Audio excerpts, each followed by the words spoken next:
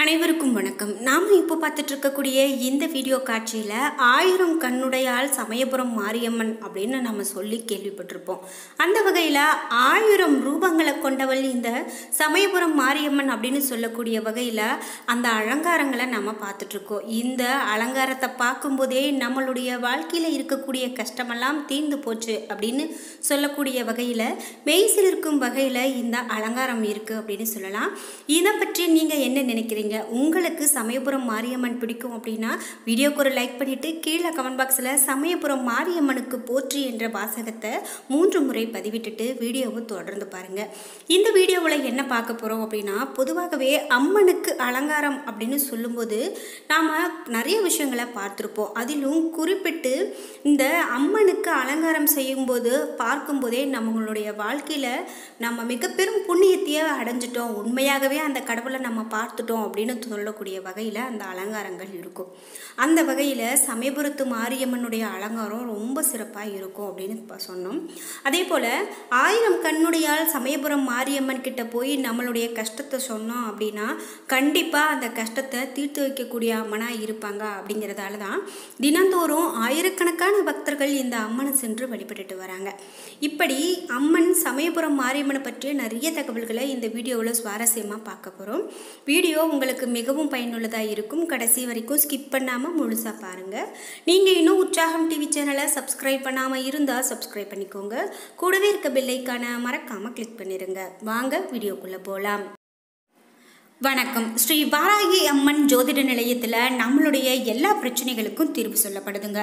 அதாவது உங்களுக்கு பணம் சம்பாத்தியத்தில் பிரச்சனை இவை எல்லாம் தீர்க்குவதற்கு ஒரு வழி கிடச்சிருக்கு. அதாவது பவன் நம்பூதிரி என்ற ஜோதிடர் முழுமையாக நமக்கு அனைத்து பலன்களையும் சொல்கிறாரு.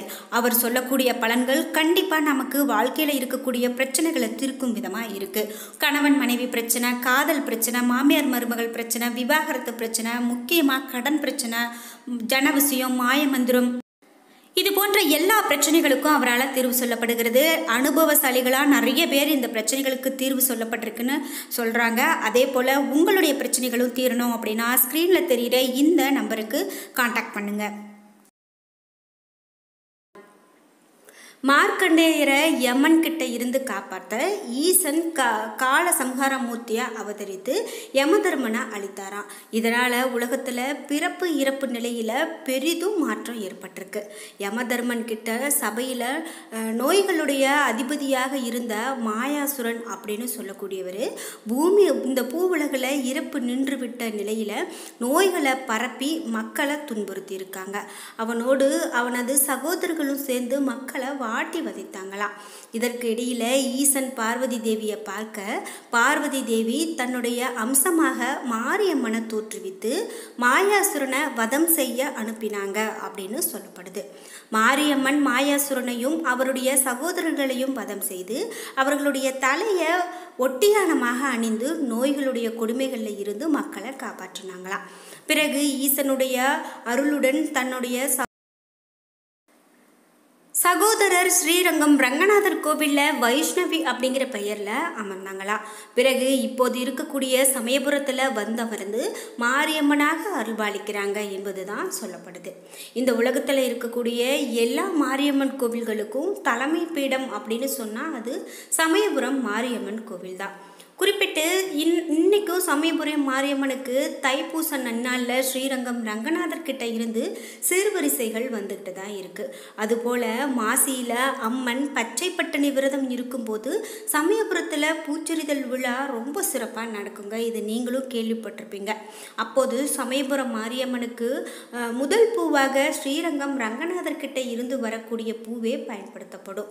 அதுபோல் சித்திரை தேரோட்டத்தின் போது சமயபுரம் மாரியம்மனுக்கு அதற்கான சீர்வரிசைகள் திருவானைக்காவல் ஜம்புகேஸ்வரர் அகிலாண்டேஸ்வரி ஆலயத்தில் இருந்து வரும். சமயபுரத்தினுடைய பேரழகு ததும்பக்கூடிய இந்த செந்தூர முகத்தை கண்டாலே இந்த தன்னுடைய கவலைகள் அனைத்தும் நீங்கிவிடும் அப்படின்னு சொல்லுவாங்க. ஆலய கருவறையில் சமயபுரம் மாரியம்மனுடைய வலது திருப்பாதம் மாயாசுரனுடைய தலை மீது பதிந்திருக்குமாறு இருக்கும். அதை நம்மளால் பார்க்க முடியும். மாரியம்மன் தன்னுடைய எட்டு கரங்களில் இடப்புறமாக கபாலம் மணி வில் பாசம் வலப்புறமாக கத்தி சூளம் அம்பு மற்றும் உடுக்கை இவையெல்லாம் ஆயுதங்களாக தாங்கி நிற்பாங்க. இடது காலை மடக்கி வைத்து வலது காலை தொங்கவிட்ட நிலையில் மாயாசுரனுடைய தலை மீது பதித்து அமர்ந்திருப்பாங்க. இங்கு ரெண்டு தீர்த்த குளங்கள் இருக்குங்க. ஒன்று பெருவளை வாய்க்கால் தீர்த்தம் அப்படின்னு சொல்கிறாங்க மற்றொன்று மாரி தீர்த்தம் அப்படின்னு சொல்கிறாங்க நீங்கள் சமயபுரம் மாரியம்மன் கோவிலுக்கு போயிருக்கீங்க.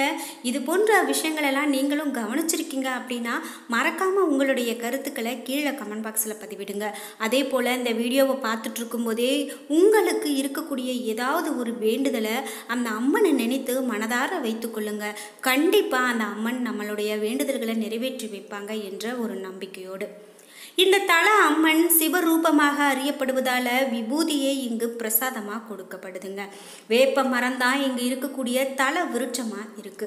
உற்சவர் அம்மனுடைய திருநாமம் ஆயிரம் கண்ணுடையாள். ஆயிரம் கண்ணுடையாள் என்பதற்கு இங்கு அதிசயமான நிறைய விஷயங்கள் எடுத்துக்காட்டாக சொல்கிறாங்க ஆயிரம் கண்களை கொண்ட அம்மன் நம்மளுடைய குறைகளையும் ஒரு கண்ணால் பார்ப்பாள் என்பது தான் ஒரு நம்பிக்கையான விஷயமா இருந்து வருது. கருப்பண்ண சுவாமி குதிரை வாகனத்தில் இந்த தலத்தை காவல் புரிகிறார் என்று சொல்லலாம். இந்த கோவிலில் மூன்று விநாயகர்கள் இச்சா சக்தி கிரியா சக்தி ஞான சக்தி என்று ஒரே கருவறையில் இருக்கக்கூடியதையும் நம்மளால் பார்க்க முடியும். சமயபுரம் மாரியம்மனை வணங்கினோம் அப்படின்னா நோய் நொடிகள் எல்லாம் நீங்கி போகும். இந்த ஆலயத்தில் சித்திரை மாதம் முதல் செவ்வாய் அன்று தேரோட்டம் நடைபெறும். மேலும் அப்போது அடியவர்கள் அழகு குத்தியும் மொட்டை அடித்தும் தீச்சட்டி ஏந்தியும் பால் குடம் எடுத்தும் அங்கப்பிரதர்ஷனம் செய்தும் தன்னுடைய நேர்த்திக்கடனை செலுத்துவாங்க. திருச்சி சத்திரம் பேருந்து நிலையத்தில் இருந்து திருவானைக்காவல் வழியாக பதினைந்து கிலோமீட்டர் தொலைவில் இந்த சமயபுரம் மாரியம்மன் கோவில் அமைந்திருக்கு. நீங்களும் இந்த சமயபுரம் மாரியம்மன் கோவிலுக்கு இதுவரைக்கும் போகலை அப்படின்னா கூட இனிமேல் நீங்கள் போவதற்காக நீங்கள் முயற்சி செய்தீங்க அப்படின்னா கண்டிப்பாக போயிட்டு வாங்க.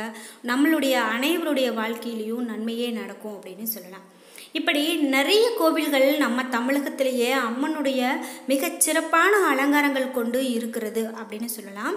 அந்த வகையில் சென்னை கோடம்பாக்கம் வெள்ளாள தெரு வழியாக ஆண்டவர் நகர் முதல் தெருவை அடைந்து அங்கே இருப்பவர்களிடம் விசாரித்தோம் அப்படின்னா கருமாரியம்மன் கோவிலுக்கு வழி சொல்கிறாங்க கடந்த நாற்பது வருடங்களுக்கு மேலாக அங்கே இருக்கக்கூடிய மக்களுக்கு அர்பாலித்து வராங்க கருமாரியம்மன்.